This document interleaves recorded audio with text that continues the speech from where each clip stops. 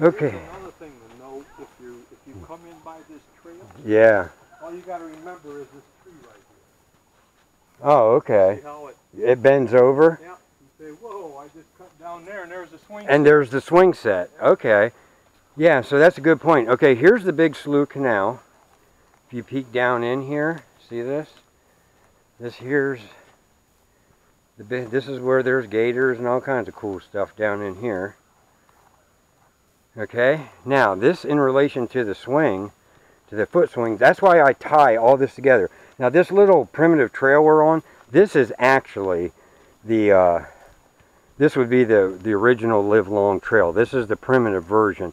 That wide path we come up, that is like an access road slash live long trail. It's just people kind of use it. I think it's easier for older people or maybe somebody is just an easy way to get up here. But anyway, that was interesting. He pointed out this bent tree.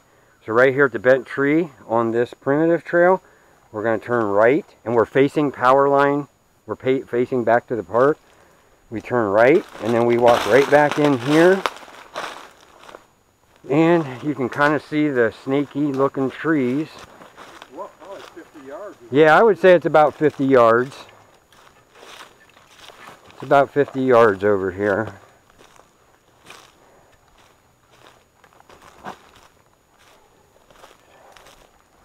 Maybe not quite, but we'll just walk and you can get time and distance by just watching the video.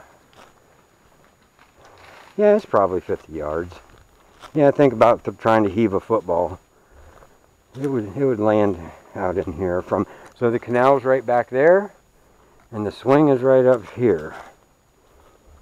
We'll walk to the swing if I can find it. Like I said, this Florida terrain is just crazy.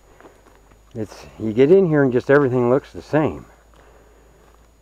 And it's real easy to lose your bearings. Okay, this is the little field behind the swing. And then right there is the big sprawling tree that has the swing. So that's in reference to the Big Slough Canal. And then once again, the crime scene is directly that, that direction over to Live Long's access trail. And that's where the crime scene circles and all that stuff we had looked at previously. So I'm going to shut down now. And we're going to go over and see if we can find that fourth circle.